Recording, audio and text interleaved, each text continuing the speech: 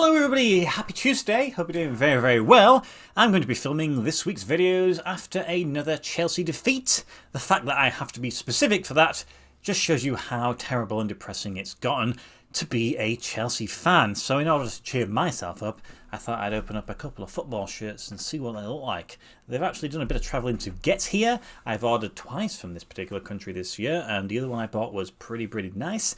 These two are well designed. I think you will possibly have already seen them just floating around the internet. They do look good from the images in person. Not always the case, but I have good feelings. And also, they are two big teams that you will be very familiar with. Both of them have been in the news recently for different reasons. One I've had a really good time, the other one definitely not. So we'll see which one it is that you can figure out. So I'm be careful with this because it's got my details on.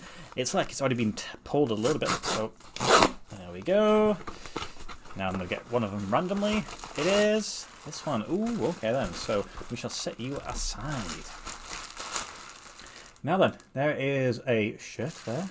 And there is the other shirt. So it has tags and it comes in the bag. So hopefully, of course, this is a medium-sized shirt. Oh, it's a little bit weird when you're buying from certain places, but uh, let's go. Ooh. Is there anything else in here?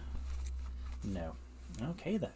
So, hopefully you can pick it all up. Wow. I mean, when you see this in person, it's probably not going to come up perfectly on the camera because of the lighting issues I, I have but it's so vibrant, it's so bright. And that design is so detailed and intricate. The image actually online, I thought it might be a little bit sort of, I don't know, not necessarily blurry, but just not as a good quality print. But this is really, really smart. So it has this design, which to be honest, a lot of shirts maybe would have just left it for the front. But Umbro have decided to go full hog here. And they've actually got the Umbro on the back of the neck, which is interesting. Don't usually see that, do you? Usually you see something to do with the club. We bring it around to the front, it's going to be a continuation of that particular design.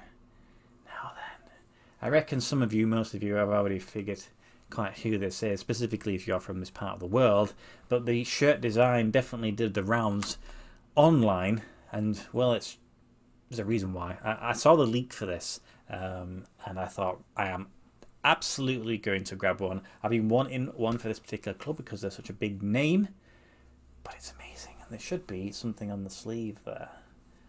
You won't be able to see probably, but it might give a little indication of what it's about. It says Japan. So let me dress the mannequin and I'll come back to you with some information about this shirt. Okay then, so there is the shirt. It's beautiful and it fits really nicely on the mannequin. So if you can find a place that does sell it, uh, just get the size you normally would. Who's the club? I think we all know who the club is. It is, of course, Santos FC, and this is their third shirt from, well, 2023, the season that's only just finished. Now, I bought this one from FutFanatics, place actually is in Brazil, which makes sense because they have a wide array of Brazilian shirts, and it's usually my go-to if I know that there's some shirts that I am particularly interested in. Shipping, of course, doesn't get involved in the price. This one cost me £60. They sell everything in dollars. It comes to about £60, which is pretty decent for a football shirt that's brand new and sort of kind of recently released. Now, they only have about, I think, small and medium for sale, at least at time of recording. So if you are interested and that is one of your sizes, quickly grab one. When it comes to the club, it was founded in 1912, so over 100 years now, and they come from the city of Santos. Makes sense, really, with the name. Now, as I mentioned, the season's only just finished, and it's actually a historical season for this club. Historical because it's the first time ever in the history the club has been relegated. Yes, they found themselves on the last game of the season looking for the points to survive, and they just didn't occur. So the team is now gone. So as much as this shirt actually is pretty nice, it's probably one that the fans might want to try and forget there. So unfortunately, I'd like to have shirts that are associated at least with something positive. This one does have that negative connotation. Last season they finished in mid-table, so it's not really been a particularly great time for our club. Now, of course, historically, they are one of the most successful teams in Brazilian football, having won the league title eight times, though, of course, the most recent one was only in 2004, so it has been quite a while, what, 20 years since the league title, and naturally their most successful period was in the 1960s, where they did have a late Pele, well, not then, I suppose, weaving his magic in the league where they were possibly, maybe, the best team in the world at that point. Now, when it comes to the Copa Libertadores, which is the equivalent of the Champions League in South America, they've also had success in that competition, winning it three times, which is the joint best record for any Brazilian team, at least until maybe Palmeiras win one again. Now, um, this shirt is, of course, manufactured by Umbro, which is not too unsurprising because they seem to have a little bit of a foothold in South America and certainly in Brazil, and they've been with Umbro for a good number of years now. Now, this shirt design is the one that stands out, and it's paying tribute to Japanese heritage and culture. What you have here is a carp and wave design on the front. Now, apparently, the uh, what does it say now here? The uh, the carp is meant to symbolise strength, persistence, and triumph within Asian culture. Unfortunately, it's associated with a club that got relegated, so that's quite funny, isn't it? As I did mention, it has Japan on the cuff there. Apparently, it's a tribute to Japanese people who sort of emigrated slash immigrated to the uh, country of Brazil, bringing their culture, landing in the port city of Santos there. Now, um, in addition to this, there is also a crown above the crest. And of course, that is again another tribute, but this time to the late Pele, who did pass, was it last December? I think it was over just a year now, isn't it? Um, unfortunately for them, it was a season which, pff, you know, I suppose it was meant to be a celebratory season. It's obviously ended up the opposite of that, so it's really not gone very well for them um, there. Now, typically, the club would wear white for their home shirts, I think, and then white and black for their away shirts. For me, not the most exciting of colour combinations, bit boring.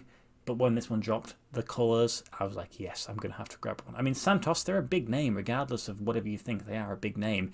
And if I want to get a majority of the clubs, it's been a bit crazy that I've had to wait so long to add one to my collection. Now, uh, the only difficulty is when it came to some of their shirts, a lot of the time, certainly when you can buy in UK, they didn't have uh, sponsors on the front. They persistently just either had them but you just couldn't buy them or they just never had a sponsor whatsoever. So I was kind of waiting for one and now we've got Blaze.com. Not the most sightly of um, um, sponsors, but at least there is one there. But uh, there you go. So, I mean, if you take, ignore the fact that the club has been terrible, the shirt design it's possibly one of my favourite designs that I've added to my collection this year. Definitely going to be a contender for one of my top 10 shirts bought for 2023. I think if anybody's able to get a chance to grab one, this I would absolutely recommend. It's just really well put together. It feels really nice. You've got the little collar effect there, which I know some people like. Got a little insert. I mean, that's transferred on. That's embroidered, embroidered. It's just a good quality shirt. Um, so there we go. That is one of the shirts I'm going to show you. I wonder what country the other one is going to be from.